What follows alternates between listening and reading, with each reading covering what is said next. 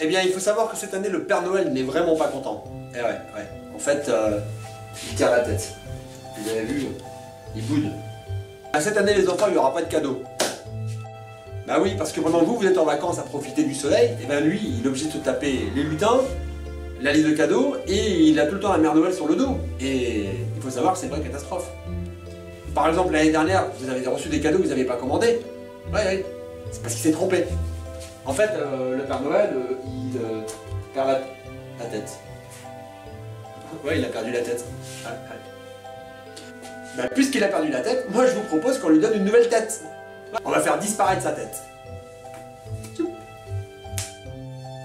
2 et 3. Et voilà Et pour que le Père Noël il ait une belle tête, on va utiliser un peu de magie. Petit foulard qu'on va déposer ici sur la tête. On compte 1, 2, 3 et la tête Et la tête Ah, on va, on va.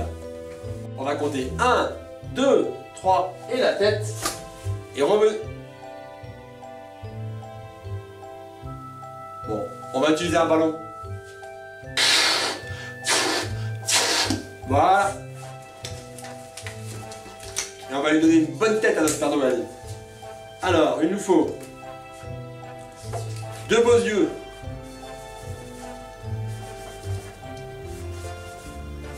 Une petite moustache et surtout un grand sourire. Et on va mettre ça à la place de la tête du Père Noël. Oula, bouge pas. Voilà, et comme ça notre Père Noël il a une vraie bonne tête. Et là au moins il va pouvoir venir nous distribuer les fameux cadeaux. Moins qu'on fasse un peu de magie. Oh bah c'est bon. Il a récupéré sa jolie tête. Et là au moins il lui fait un beau sourire. Il est prêt pour passer chez vous.